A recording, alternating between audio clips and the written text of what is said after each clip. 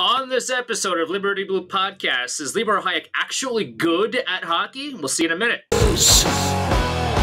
Liberty Blue, Liberty Blue Rangers Podcast. Rangers Podcast.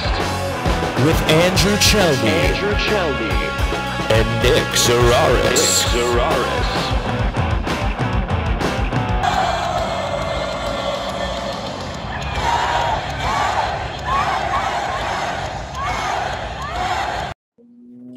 Rangers fans, welcome to the best Rangers podcast in town. I'm Andrew Chelney alongside Nick Zararis, and we are Liberty Blue. We scream about the Rangers so that you can save your voice. That's how deeply we care about you. and We appreciate that you've joined us for the ride. This is episode 22, live on Twitch. We will put the full video up on our YouTube, Liberty Blue Podcast, and the audio version will be available as an audio podcast as well. Search Liberty Blue on your favorite podcast flat, plat, uh, platform, and it should be there. Give the show that shiny and illustrious five star review on Apple Podcasts. It helps the show out more than you think it does. At Liberty Blue Pod on Twitter and Instagram, I am at Chelney Andrew, C H E L N E Y Andrew, and that is Nick Zararis, Nick Z A R A R I S. Those are our personal Twitter handles to follow as well. Nick, they beat Detroit and Arizona. Aren't you thrilled? I am not ready to jump off of a bridge or be committed to the grippy sock floor of a mental institution. Let's put it like that.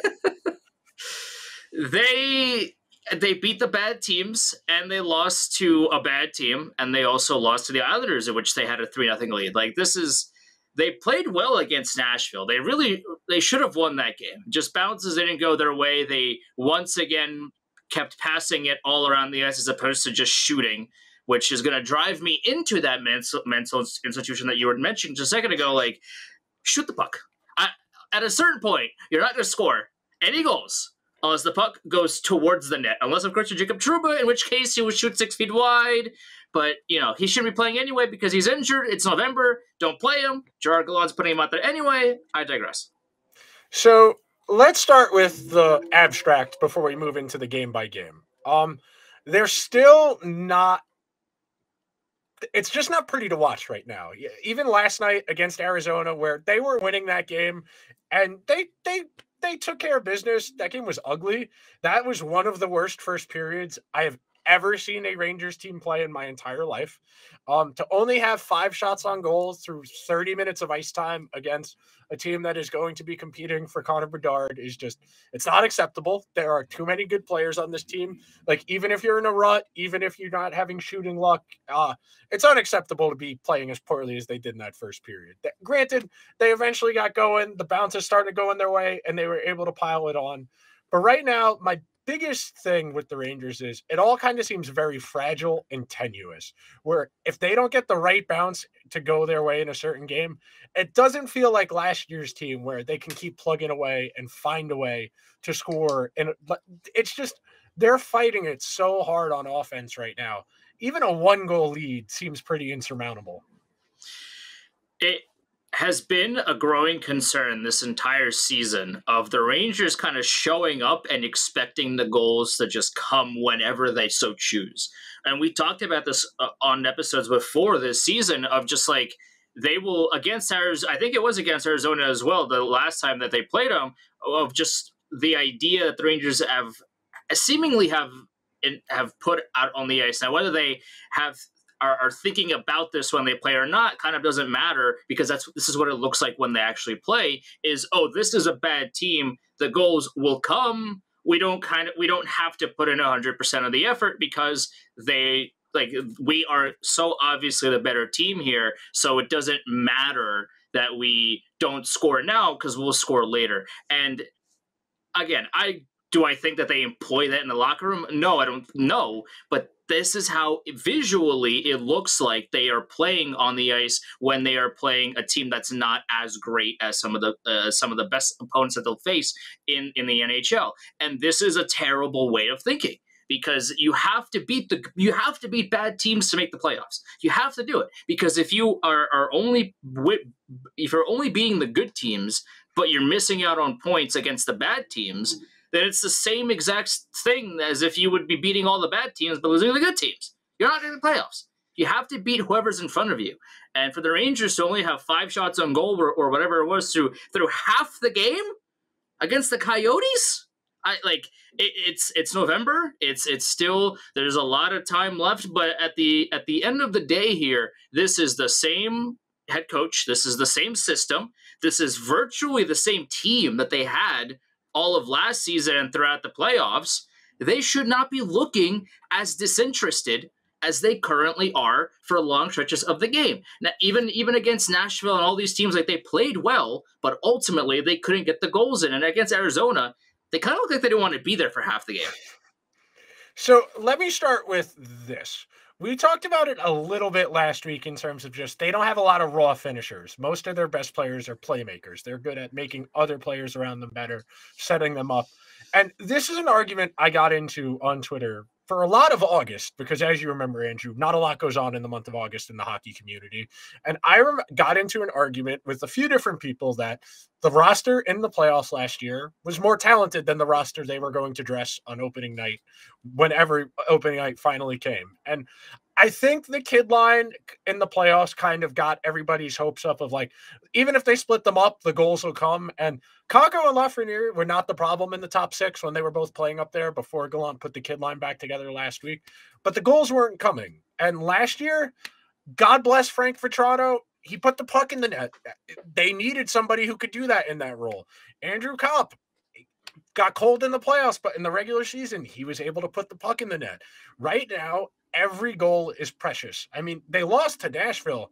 They didn't score once. They had five power play opportunities. That's the reason they lost because they're just not getting anything at five on five. And in the games that are close like that, if they're not going to get one on the power play, they're not going to score because that's just the way this team is. And there aren't any obvious solutions. And we're going to talk a little bit more about some of the, the spitball ideas we've seen floating around and uh, people who suggested ideas based on questions we got. So we'll spitball on that for a second. But before the last thing, before we start, we'll start with the Islander game because we'll go chronologically. It's just frustrating to watch a team that isn't putting the puck in the net because there are nights where it just doesn't feel like it's going to go in, like the Nashville game not, neither team scored a goal in that third period. That entire third period, it was a one goal game, and the Rangers were chasing it and chasing it and chasing it. They pinned Nashville in their own zone for long stretches of time, but it never really felt like they were going to score. And it's really frustrating when you're stuck like that because you know it, eventually it'll come, but the clock does eventually run out. No matter how well you play, eventually, if you don't put the puck in the net, the game ends. It's also as if a lot of teams in the NHL will watch demos of you and how you play, and they will watch the tape and and they'll go, "Oh, on the Rangers on the power play love to pass the puck around and eventually pass Zibanejad for the one timer to score. And if you take that passing lane away, the Rangers have nothing." Because all the all the Rangers will do is if that pass doesn't work once, they'll try it again. If it doesn't work again, they'll try it again and they will keep trying it until the power play is over, and that's that. And that's really one of the, the the red flags that I have for this team right now is they aren't adapting to what is happening on the ice in that specific situation. If that cross seam pass isn't going through, stop trying it. Try something else. Try something else, please. Please, for my sanity, try something else. The entire Nashville game, they kept trying that cross seam, that that beautiful play, that one extra pass. Just put it on the net. You can't score unless you take shots on the net. And please hit the and please hit the net if you do take a shot. Like it, it, it's it's really just it, it it's strange to me how this team can look so good at, at some points of the season. And then, like the very next night, they look as if they're terrified of shooting the puck. They would rather pass it 900 times and go for the go for the highlight reel play as opposed to hey, like Pittsburgh did this for when they when they won their cups. Pittsburgh loved doing this. Of we will shoot from anywhere and everywhere, and we'll have all the forwards just clamor and go straight for the blue paint and just and, and put home any loose rebound that is there. That's how they scored a lot of goals during that during those cup runs and and uh, and just like you. I'm not saying you have to do that every single game, every single moment, but like you got to push some of that because those passes won't be there every single game. You need a diverse way to score. You need a you need a, a variety of options. It's the same thing as we talk about in football, same thing in basketball, where you got to do things to set up other things.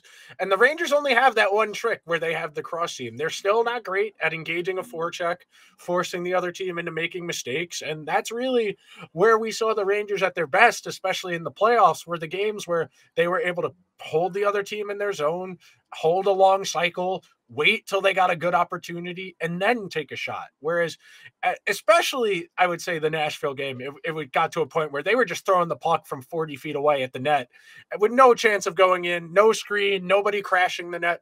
And I, the thing I would say is it's a combination of bad luck and maybe I, I don't know if confidence is the right word, but something along those lines where you know you need a goal, you're pressing a little bit, you're squeezing your stick a little bit harder, you're trying a little bit harder, you're going to be more liable to make a bad turnover, going to be more liable to take a penalty because you're pressing so hard it would be ideal if we could strike a nice balance between pressing so hard in a game like against Nashville, whereas looking like they were concerned with the four o'clock football scores in the Coyotes game because those guys had no interest in playing in that first period. I get it, you're on a back to back. So is Arizona. Granted, Arizona didn't have to travel, but Arizona's on a back to back too. There aren't excuses for we're tired, we're hurt. Everybody's tired, everybody's hurt. This is the NHL. And if you're Jacob Trouba, maybe don't play for for like a week or two because you're clearly injured. It's November. Sit out a week. Sit out ten days at Gerard Gallant, please. Like this is not the conference finals. This is yeah. literally the second week of November. As I look to my calendar here because I don't know what day it is, but it's the second week of November here. Like maybe maybe don't play your top. Maybe don't run your top four defensemen into the ground in November because you're going to need him come April. Okay, you know, so but I'm not. I'm not a head coach my memory. NHL, so what do I know? You jog my memory about something. You remember Kevin Shattenkirk's first year as a Ranger, where he I tore sure his do. where he tore his meniscus in November, and the Rangers let him play with a torn meniscus through February, and he was not very good because he was playing on a torn meniscus all year. They shut him down, and then they got rid of him. Um, don't do that to Trouba because you're stuck with that contract for a lot longer, and buying that out that would be bad if you had to buy out that contract because you ran him into the ground. That would be very bad. And, and we talk about it all the time. There's a point where trying to gut through something for the team is hurting the team. If you're actively sucking on the ice, that's hurting the team. I eh, I'm sure the guys appreciate that you're trying, that you're gutting it out, you're still not helping the team win by going out there and being bad. it's it's very complicated. It's a nuanced thing to explain, but it's important. One of the red flags here that we have to address with this Rangers team is that they are playing Jacob Trouba right now on defense, despite him clearly being injured, because they have nobody else to trust right now that can play at the NHL level. You had somebody in Nils Lundkvist you traded him away for a first round pick and a fourth round pick. Okay, cool. Those picks can't play hockey right now. Uh, you don't have anybody that can slot in and play. You don't. No. You don't. Like you don't have anybody in the AHL that can just soak up minutes. At, at what you're gonna do? Like you're gonna bring Libor Hajek up to the top four, which granted he hasn't been playing badly, like at all. Like, he's actually. We'll talk about him in a little bit. Like he's been playing playing pretty well. Like uh, it's it's maybe maybe we gotta we gotta put some respect on that guy's there because he's he's looked pretty good last couple of weeks. We yeah. there's nobody in the AHL right now the Rangers can bring up to to just play hockey on the blue line right now. And that's why they are continuing to put Jacob Trouba out on the ice despite his clearly injured status and he's not playing the way that he can play.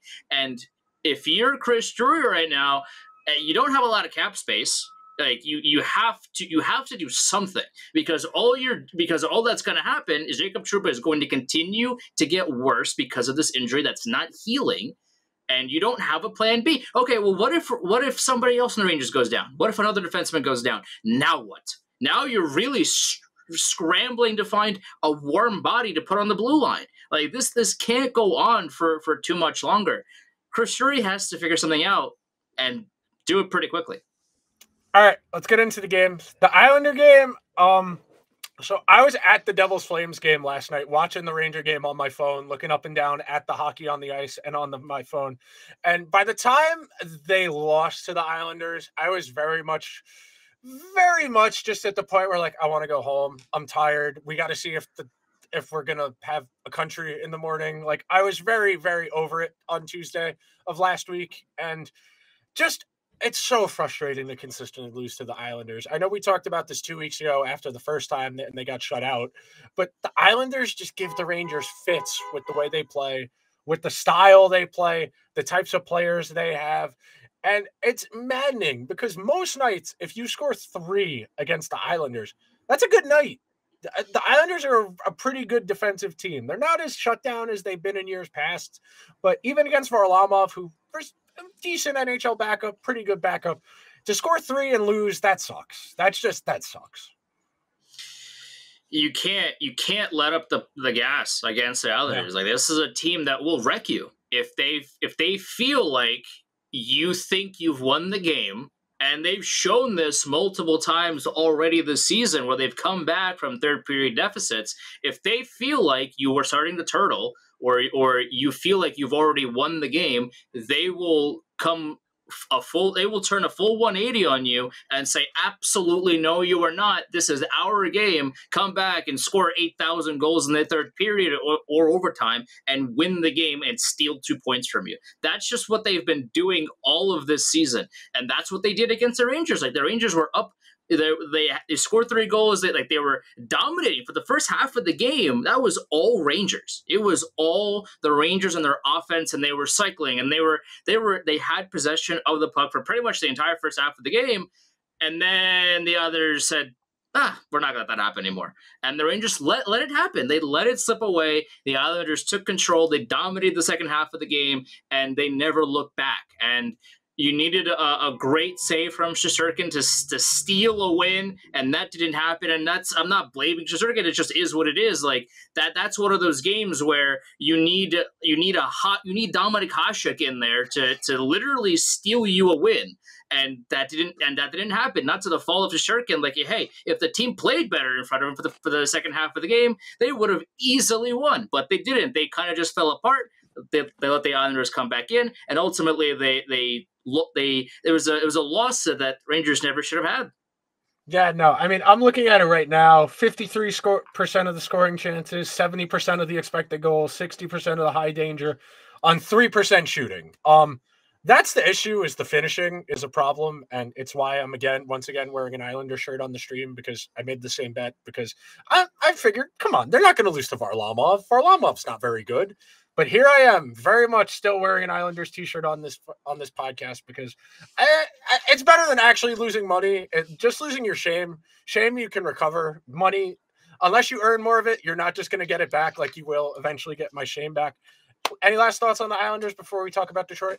Stop throwing, please. Stop throwing. All you need to do is stop throwing, and you will win hockey games. Like you Yeah. score three. Like this is a team that has had trouble scoring despite controlling play for for a lot from a majority of games. You score three goals. Like this is your chance to just win a game. Yeah. Stop throwing. Like what are you doing? You need the points. You need Yeah. them. Especially against the Islanders, who you are going to be in competition with for a playoff spot. Absolutely. Okay, so Detroit, uh, this is the first non-annoying Rangers Red Wings game in years, maybe since like Obama was president, where it wasn't a, where it wasn't a one-goal game Since Dukakis ran for governor. yeah, I mean it's been a while. Usually those games are one nothing, two one, three two that go into overtime, and every Ranger fan is like, "How is Jimmy Howard doing this? Jimmy Howard sucks." Or and they poured it on. They got the secondary scoring. They got goals from guys in the bottom six. They got a Libor Hajek goal. They got a Gauthier goal. go. They got a Goodrow goal. That's the kind of game where you you realize the statistical regression that happens because against the Islanders they shot three percent, and then against Detroit they shot twenty three percent.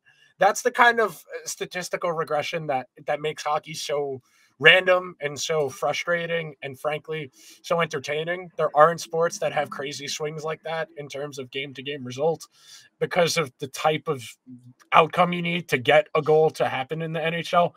Um they took care of business. They shouldn't have been in that Sure. game. It was a close game. They pulled away at the end of that game and they poured it on once the floodgates open. But that was a good way to end the losing streak. I think they had lost three in a row going into the Detroit game. So it was a good way to kind of put a kibosh on that. But again, they have to find a way to play like that more consistently where it is guys from the secondary line scoring where if you get goals from the third and fourth line it's really going to lighten the load on the top six because that's been the biggest issue this year when the top six doesn't score at five on five and especially if the power play doesn't score nobody in that bottom six is giving you goals so to actually get them to get a goal from a defenseman too that's really helpful they need this in more games and this is Captain Obvious speaking here, but the Rangers need Ryan Carpenter to score a, a little bit more for more frequently. Doesn't have to be every game. Obviously, it's Ryan Carpenter. Yeah. He's a fourth line center. Like where no one's asking him to score 30 goals, but Nine, I mean, ten. Like, By the like end 10, of the year, he, like 10, 12. he should have. Like, so, yeah. like, I mean, you know, just anything realistic that could yeah. help the team in, in moments that they really need one to, to go in. And Ryan Carpenter scored one, his first as a Ranger last night, and that's that's awesome.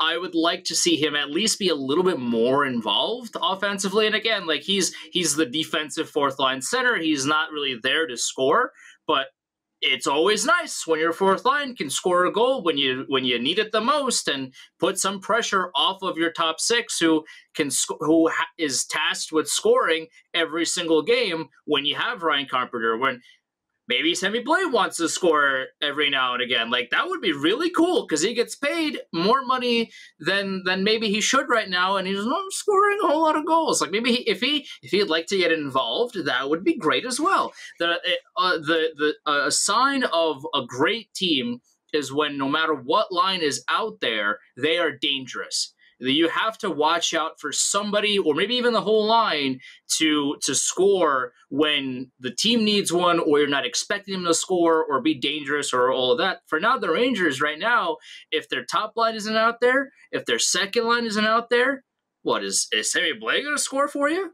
Is Julien Gauthier going to score? He's going to drive to the net and then miss probably, and that's it. Like that's your that's your bottom six, and the Rangers need more from those guys right now. So you sounded like um a faculty advisor in college talking about Sammy Blais saying he should get involved. You should be doing something. Are you just sitting in your dorm room playing Fortnite and eating Cheetos? You should be in a club, Sammy. You should be in this game. Every time the puck, puck touches his stick, he just looks so uncomfortable. It, it's it's jarring because he never gets a pass. Granted, he's not playing with particularly talented players, so he never gets good passes. But like at some point, you would think, okay, I'm in the NHL. If this is a bad pass, I need to be able to adapt my body positioning to be able to still play this puck without it being an automatic turnover, which is what happens 90% of the time he has the puck at his feet, is the other team ends up with it because he just doesn't look fast enough. And I get it. He's a big, lumbering type guy. If he gets ahead of steam going, he's relatively quick. But uh, body positioning wise, hands wise, the reason the Rangers took a flyer on him, and I was talking about this with somebody a couple weeks ago, I forget who it was. In junior, he had crazy shoot shot rates, like mm. just shooting the puck. He was really good at getting pucks on the net accurately. They didn't always go in, but he was able to generate a lot of offense that way. And the Rangers saw upside of saying, okay, this guy shoots a lot. He's big. We think if we give him a little bit of runway, he might be able to be something a little more than he's been to this point. Whereas with the Blues, not really a top six guy. Occasionally, occasionally got up in that top six for the Blues before he got to the Rangers, but he's been frustrating. I gotta say it, and I, I don't know which game we should talk about him in. I think Vesey's been the best bottom six guy who wasn't on the kid line, like of Goodrow, Reaves, Carpenter, Gauthier, I, I think you got a real argument that Jimmy Vesey's PTO is actually helping them a lot more. I mean, realistically, you get Reaves out, you play a fourth line of some combination of Goodrow, Carpenter, and um, Vesey when everybody's healthy. That's not an awful fourth line. It, it, and realistically, that should be the goal here. Uh, dress Reaves as minimally as possible. He looks done. Uh, he yeah. just yeah. He just doesn't have it. I, and I, it was stupid to give him a two-year deal last year. I understand that was the only way he was agreeing to be traded here was to if he got a second year, but he just looks done as a player. I give re give Vesey Give Gauthier even. You got to keep those guys in there. Carpenter and Goodrow is fine. You got to give them a wing that can actually do something. I don't think it's Blais. I, they're stuck with Blais because of the money he's making. I know we got a question earlier that asked, should they try and trade him? The, the front office want this is their guy. They gave Yeah. up a, a real player for him because they thought they saw something in him. They're gonna ride him into the. They're gonna ride him until he sinks. Realistically, I don't think he'll get a qualifying offer after this year if he keeps playing like this. I think he will be with another organization unless he agrees to take a pay cut, in which case I could see him staying. But to get uh, to be getting paid, I think 1.5, 1.6, something like that. That's a lot of money for somebody who's giving you pretty much nothing. Yeah.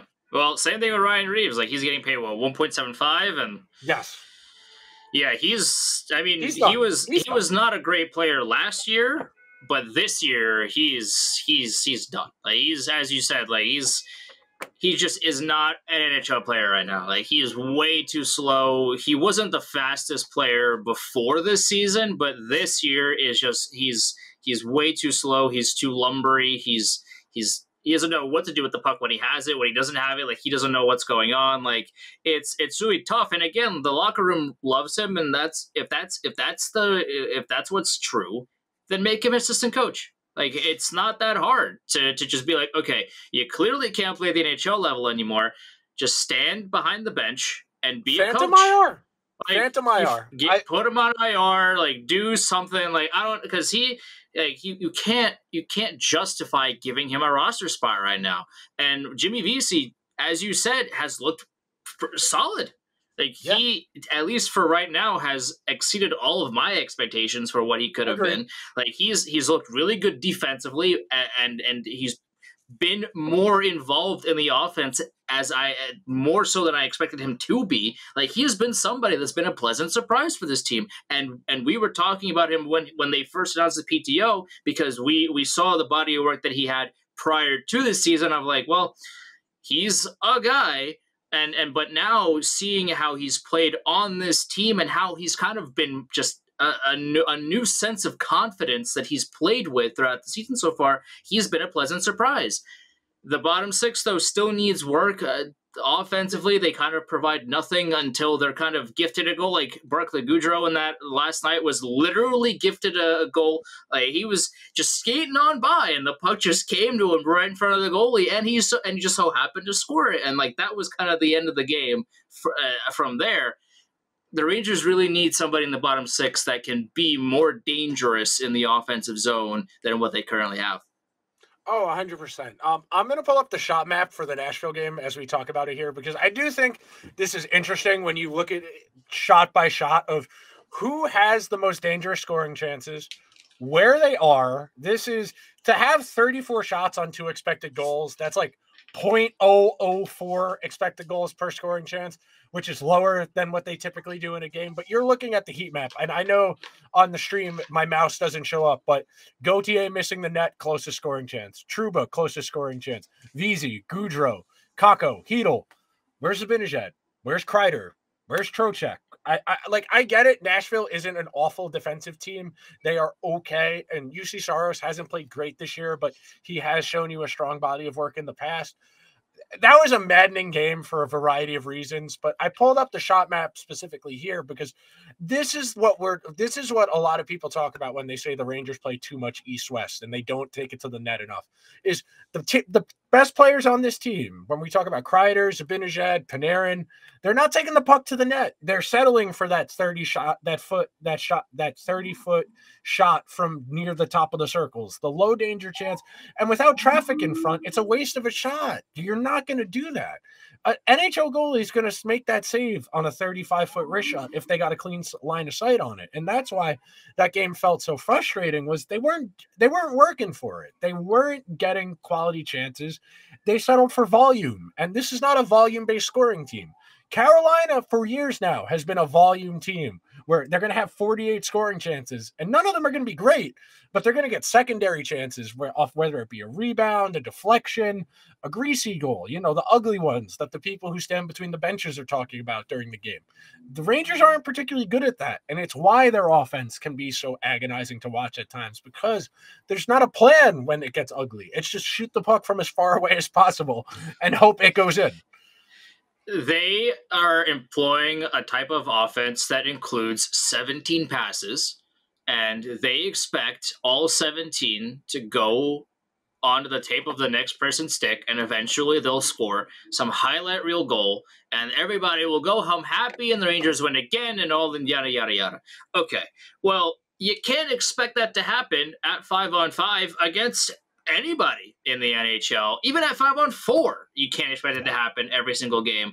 This is the NHL. These are the best players in the world. Even if you are playing some of the worst teams in the NHL, these are still NHL caliber players. And you Yeah. cannot expect to have Panarin passing it to Zibanejad and Zibanejad passing it to whoever, like every time cross ice and expecting all these passes to just magically appear on their tape and it just goes in, everything goes well. Sometimes you just have to get to the dirty areas, take it, take it to the net. Like Julien Gauthier does it all the time. If somebody like Zibanejad, who actually has hands and more than one move, can can do it and and and shock everybody right now because uh, uh, uh, if it's not Julien Gauthier, no one's doing it. Like if, if Zibanejad or Kreider can can use some of that that strength that they uh, that we know that they have, the strength that they have, the speed that they have, the the skill that they have around the net to to just get there and and score a dirty goal that gives the, the Rangers the one goal lead or tie the game or do something that's not trying to pass east to west for the 18,000th time in that game that everybody sees coming. Like maybe they'd score more, but right now they are too predictable and they are not adapting quickly enough to how the other team's defense is approaching their offense. The last thing I want to say about Nashville before we talk about the Arizona game Halak gave them a chance to win, and we talked about it last week with him. You need your backup goalie to give you a chance. To only concede two goals, more often than not, if you're a good team, you should be able to win if your backup's only conceding two. It's nice to see he's getting a little bit better the more work he gets. Ideally, if he's going to keep playing like this, they'll be all right when he starts. But they got to fi- they got to put the puck in the net. That's the biggest thing. Is it interesting to you that Gallant played Halak against Nashville as opposed to Arizona? Um, again, we talked about this a couple weeks. We talked about this a few weeks ago when they did it the other way around, where they started, they started Shesterkin against the bad, uh, the same way, where they started Shesterkin against the bad team and Halak against the good team. Um, it's trying to load it up where, especially knowing that it's a back to back and your team's going to be tired and you got to travel. I understand why you would start Shesterkin in that situation because he's going to give you a better chance to win than Halak in behind a tired team. And Igor gave them a vintage performance yesterday. He was outstanding. That game very easily could have gotten away from the Rangers if he wasn't at, eh, if he wasn't as locked in as he was. I mean, they got dramatically outchanced. They got out puck controlled, and they won with the recipe they had last year. They got some depth scoring. They had a Fox goal in there, which helps when you can get a defenseman goal in there. But again, I'm going to pull it up. The shot map against Arizona. This is this is hideous. Look, the best scoring chances are two are Ryan Carpenter, one is Barclay Goodrow, one is Kakko, one is Zibanejad, one is Goodrow. I mean, where is everybody else on this team? I understand that Arizona was really doing a good job defensively and not giving a lot, and it's part of why the Rangers weren't generating a lot of scoring chances in that game. But to have 18 shots at five on five against a lottery team, especially one that doesn't have, you know, like Jakob Chychrun is a decent defenseman, but aside from him, there isn't anybody on this Coyotes team But that's they like, have Shane oh, Gostisbehere, Nick. Come on, you gave Flyers legend. we're talking about defense. We're talking about defense. Offensively, he's good. Offensively, he's very good. He's really good as a power play quarterback. They've got um Dinelson Mayo, who's not awful. They traded for Valimaki from the Flames, who's not awful, but needs a lot of who just needs minutes. But this isn't exactly like the 2003 Devils here. I- to only have 18 shots at five on five, man, that's just terrible. And again, I get it. You're tired. Everybody's tired. This is the National Hockey League. If you're given excuses like that, it's not acceptable. It's okay to say, hey, we got some bad luck. We didn't finish. Okay. That is reasonable. You can't say we're tired. We're hurt. Everybody is tired and hurt in this league. It's like these shot maps are really like they're gross to look at. And you Yeah. and you were right. Like these against bad teams, you should be in front of the net all game for for all 60 minutes. Like that th- this should be your invitation to literally walk in and do whatever you want because you are the better team with the better offense and better players and better talent. To to only have 18 5 on 5 shots and for the best opportunities to come from depth players, like there's a like there's one or two names that were in there that were in close, but at a certain point those those top six guys got to look inwards. Like you can't you can't score all of your goals on the power play and and then just walk home and be happy with it. You have to start scoring when everybody is on the ice. Like you can't live and die by the power play like they have been. And the the top six like Mika Zibanejad finally scored some five on five goals last week. Uh, congrats, welcome to the party, Mika Zibanejad. Like the, they need to, they need to start being more of a force at five on five because if they don't start doing it soon, teams will start disrespecting them.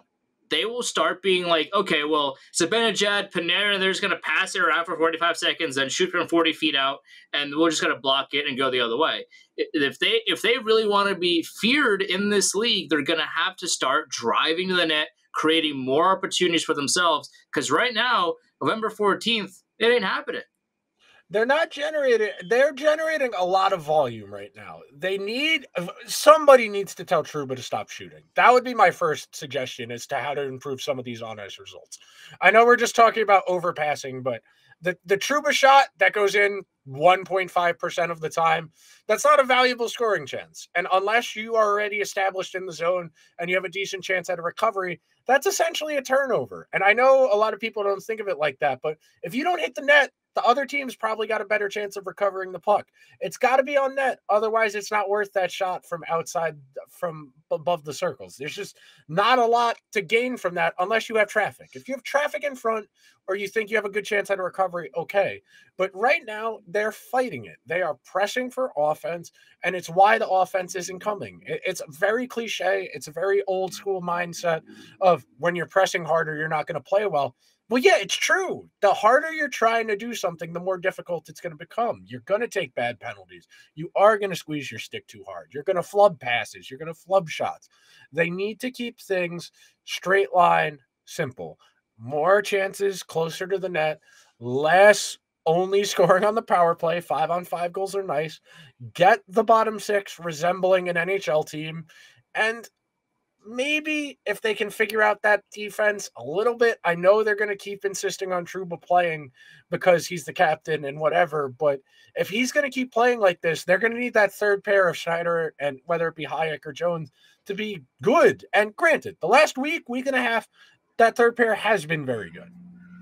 And speaking of Hajek, because we got a tweet earlier from from John Kavanaugh at Kavanaugh uh, SJU, who who asked like, can Hajek be the third pair defenseman on this team. And well, if he's playing the way that he has been recently, I my confidence in him is growing by the by the game. Like for for all the the negative things that we've brought up, rightfully so, about Libor Hajek and his game, the last couple of weeks he's been solid. Like his his yeah. skating he's looked confident with the puck. He's he's put it, he's put a couple of a couple of guys on on on on on on, on the ice. Like he's he's been just confident with it and, and trying to to get the puck out of his own zone and and just been an actual NHL defenseman for once. Like he's he's looked good. Can yeah. he my my question with with with him and and to answer the question that we got is like can he continue to do that if he can sustain this kind of confidence that he's that he's shown that he's been playing with last couple of weeks and he can continue to to do that at least to a to a certain extent throughout this whole season and not look like the Libor Hajek that we all know and quote unquote love, then yeah, I'm sure like he can be fine. But as uh, just as long as he doesn't revert back to what we are used to seeing out of him, because the second he does that, he's out of the lineup. At least I would hope so. But right now, like he's fine. I mean, yeah, that's the way Gallant has handled the third pair the two years he's been here. Is as soon as somebody has a bad game, they're out, and until the other person has a bad game, they're out. That's realistically what it's been, and that's how most NHL coaches are, especially when it comes to younger guys. Is as soon as they might be building a little bit of confidence, they have a bad game. They don't play for a week and a half because the NHL is stupid and doesn't understand the idea of you need repetitions to get better, especially as a defenseman. Um, we got another question in there that was about um what they can do to improve. We said this last week, and unfortunately, unless they're going to trade somebody who's actually making money waive Ryan Reaves or wave Sammy Blais, there are no solutions because they do not have cap space to bring anybody in right now. Well, they won't waive Sammy Blais because that is still their prime, their their their biggest Their jewel. Their, That's their well, project. their project, but also that's still pretty much the the jewel they got in the Pavel Buchnevich trade. Yes, they got a second round pick out of that, but in terms of tangible players that are currently playing, I forget that I forget if they like who, who if they still have that second round pick or they drafted think or they like, traded it. they traded it away. Whoever, like that second round pick, isn't currently on the ice for the Rangers. Like who, who is on the Rangers right now for them currently? is Sammy Blais, a guy who hasn't done anything for them offensively. Yes, I understand. Like he is still coming back from the horrific injury he had last season, so he's not as fast as he potentially could be. But that doesn't affect your hands. That doesn't affect how you see the ice when you're out there that doesn't impact your your hockey IQ and how hungry you are to get to the dirty areas, to get to the front of the net, to to to score a goal. Like it, it doesn't impact any of those things. And I'm not seeing a whole lot from those areas out of Sammy Blais. Like, can he be faster? I mean, yeah, sure, but you know the the leg injury that he sustained, like it was horrible, and he's still you know, game by game, he's. I feel like hopefully he's getting more and more in tune with with being an NHL player again after not playing for a whole year. But ultimately, leg injuries don't impact how confident you are with the puck on your stick. And if he doesn't start figuring it out soon, that's going to be a major problem for the Rangers because that's what they got for a guy Yeah. that can score you traded a guy who can score for a second round pick and a guy who right now can't score. And oh, the Rangers are having trouble scoring goals. Oh, you know, if only somebody could have seen this coming. Hey man, we put in We're the not, work. we're, we're not GMs. What do we know? We put in the work. It's just a matter if anybody wants to listen. Okay, before we get out of here, we'll do three stars of the week, and then we'll talk about the two games they play this week because they only play two games between now and next Monday. So three stars of the week. Uh, you went first last week. I'll kick us off. Jimmy Vesey, I mentioned him before. Uh, pleasant surprise in the bottom six. I didn't expect much from him. He was playing on a fourth line on a Devils team that finished second in the draft lottery last year. To get anything out of him is a pleasant surprise. Adam Fox, thank you. We appreciate you. You're the one defenseman I know we can count on every single night. Ryan Lindgren getting there, but still, you know, not the same type of player as Adam Fox, where every time he's on the ice, he's making the team around him better. He has the single best impact of expected goals of anybody on the team. Second is actually Filipino, which I found interesting earlier. And then I have Hajek third, just like you do. Hajek's been out good the last week and a half, and they really needed it, especially last week when Lindgren didn't play. Yeah, and I have Libor Hajek for the same reasons as you do. He's been exceeding my expectations by tenfold. Like you know, over the last week or so, he's been a, a quality NHL defenseman, somebody that we expected to see for years and years and years and years and years and years and years and years of Libor Hajek being a New York Ranger. And finally, after what feels like year 78, Libor Hajek has, over the past week, figured out how to be an NHL player. So that's that's really good. Hopefully, hopefully he can continue that. Ryan Carpenter scored his first goal as a Ranger last night. Good for him. I mean, it's it's always a good story and somebody who isn't uh, as we as we talked about earlier. I would hope to see maybe nine, ten goals out of him throughout the season. Hopefully, he scores more. That first one always the hardest, especially when you're on a new team. So good for him. And the Ranger dads, they gave us great content, especially as I tweeted out earlier this week. I wake up every morning and I thank Adam Fox's dad for being a Rangers fan because that's the reason why Adam Fox is a Ranger. So thank you to Adam Fox's dad for that. Uh, they gave us some great content. They were fun. They they read the lineups a few times, like the the videos uh, of them and all the questions and all that. Like that. That's always fun to watch and it's good content. So they get a star. Okay. Last thing before we get out of here. Only two games this upcoming week, and unfortunately, they're late games. I hate I the West Coast trip is the worst part of the season every single year. I'm too old to be staying up to one o'clock for a regular season hockey game, bro. Like I might be in bed and awake till one o'clock, but to actively be, be committing brain power to watching hockey, to remember things, to write things down, that's a lot to ask for a game in November. I mean, yes and no. Like, if you're somebody like me that always wakes up early in the mornings, but when it gets to the nighttime, can't go to bed anyway, then those those West Coast games are are giving me life form, like giving me life force. Because I, if if not the Rangers, then I'll put on somebody else to watch. Like I, I will watch L.A. play Chicago or whatever. Like, But I you would- don't actually have to care. That's the difference. Okay, yes, but like it's hey, it, if it's a night game, it's a if it's a late night game, it's a late night game. And Seattle, they they're not the greatest of teams, but like they, they come to play and they're uh, they're better than they were last year, which isn't saying a whole lot. But Philipp Grubauer is at least not as bad as he was. So that's it's not going to be it's not going to be a, a hopefully a difficult game, but it won't be the it won't be the easiest of of They're not a bad either. defensive team. They're they're a solid defensive team. They don't score a lot. Their goaltending is not great, but they don't give up a ton of chances. Which against a Rangers team that is content to shoot from anywhere, that might be a bit of a problem. Um, I'm not looking forward to that. And then please beat David Quinn just so I don't have to see his face. For the love of God, yes, yes. I, I, I, I, That'd be great. I, I dislike David Quinn immensely. Please don't lose to him twice. yeah, dude. If we, if the Rangers go 0 2 against against David Quinn, like the the presser will just be, uh, uh, please, please, please don't lose. L plus again. ratio plus Boston.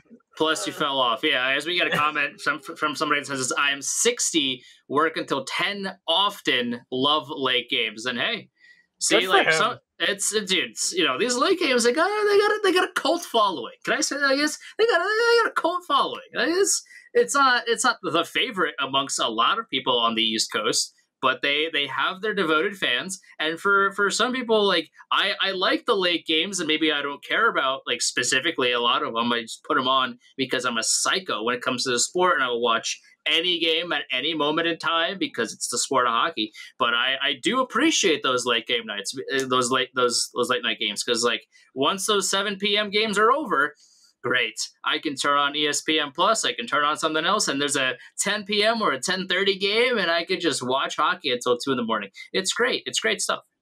The last thing I want to say before we get out of here and get you guys going for next week ESPN Plus on the Xbox app has a quad box feature where you can multi box things in. And it's really the only reason I have an Xbox at this point. Like Andrew and I were talking about before, my Xbox is a $500 Roku stick, but I can watch four games at once on the ESPN app on it. So that's a very useful $500 Roku stick. Hashtag not sponsored. Promise. Uh, Uh, God, if we were sponsored by Microsoft, you'd, I'd be wearing a Microsoft shirt and the Xbox right. would be here on the counter. That's right. Yeah, like for for and just to, to put a pin on the whole defense situation, like it just and we got a comment about this from uh from Seamus who's at at at Postum notes as well. Like the whole Zach Jones situation, dude, just sit just sit Trouba for a week. Just sit Trouba for a week. Play Zach Jones. Let Jacob Trouba heal. Like whatever's whatever he's got going on. I don't understand the point of having Jacob Trouba play 18, 20 minutes a night when he's getting worse because he can't heal his injuries, and two, like he's looked out of place quite frequently this season, Yeah. and just give him a, just give him some time to, to to get better and play Zach Jones. Like, do you really not have any confidence in Zach Jones? I'm not I'm not out here saying he's like Adam Fox or anything, but like.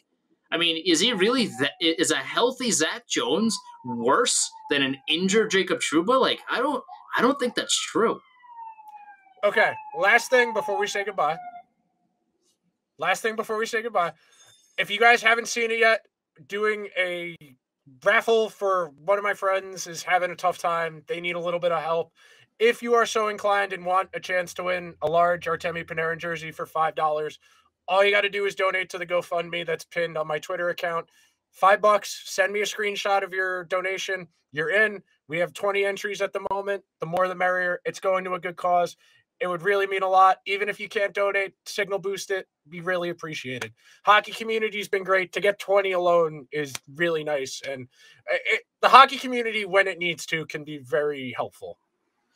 Absolutely, it's it's important. I, like like Nick said, even if you can't donate, if you don't have the money, then just retweet it, share it with your friends. Yeah. If this this is we we don't share these things unless they're important, unless they're necessary to do so, and and this is important for for us. So please, if you can't donate, then please share. Uh, send it send it to your friends, send it to your family, whoever. Uh, as many people as we can get to to see the the GoFundMe, the better. Thank you, Andrew. We will see you guys next week. Make sure you are subscribed to the show wherever you get your podcast. Please, if you're on Apple Podcasts or Spotify, leave a five star review. If you're on YouTube, subscribe, like the video. That helps other people find the video in the algorithm that watch things about the Rangers. That would be very helpful. Um, make sure to be watching every week. We're live most of the time live on Twitch, Twitter, and YouTube. Between 6, 6.15, we usually start. Um, make sure to follow the personals at Andrew Chelney, Ch- uh, C H E L N E Y. Make sure to follow me at Nick Zararis, Z A R A R I S. Uh, we'll see you guys next week. There's only two games, so if anything goes wrong in one of them, it's going to be a really, really frustrating week because nobody's going to shut up about it. And we'll get to yell so that you don't have to. That way you can save your voice. That's so deeply we care about you. We appreciate that you've joined us for the ride. See, I've I've memorized this now. It's been how many episodes? I've, I got it. I got it. We got to figure it out. That's good stuff. Self-referential right. stuff that keeps that's building a brand, Andrew. That's good stuff. Absolutely. Uh, Later. We'll see you guys next week.